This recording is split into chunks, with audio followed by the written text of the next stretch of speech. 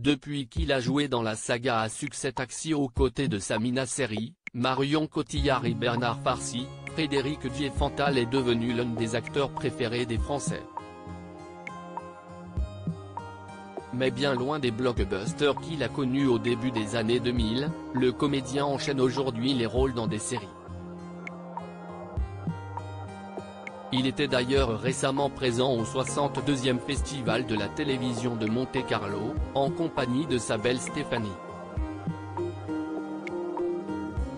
Ils ont beau être particulièrement discrets concernant leur couple et leur vie de famille, Frédéric Diefenthal et sa compagne Stéphanie Seguin ont pour habitude de s'afficher ensemble lors des plus grands événements publics. Ce samedi 17 juin 2023, le comédien de 54 ans et sa belle étaient d'ailleurs présents au 62e Festival de la télévision de Monte-Carlo, pour l'arrivée du casting de la série Ici tout commence, TF1, dans laquelle Frédéric Diefenthal incarne le rôle d'Antoine Myriel depuis 2020. Tenue glamour pour Stéphanie Seguin sur le tapis rouge de Monte-Carlo plus complice que jamais, le couple est apparu radieux et même taquin. Sur le tapis rouge, ils ont pris la pose main dans la main et se sont même embrassés à plusieurs reprises.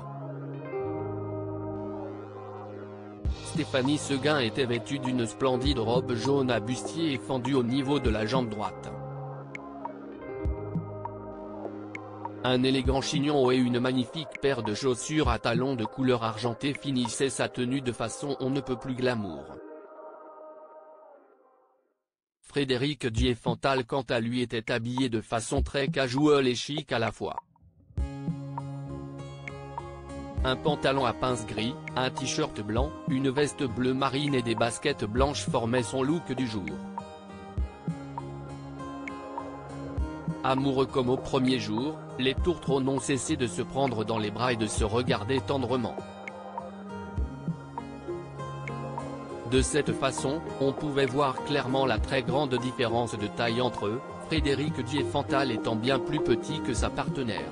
Une femme très discrète on ne connaît que très peu de choses concernant Stéphanie Seguin, cette dernière cultivant de manière particulièrement habile le mystère autour d'elle.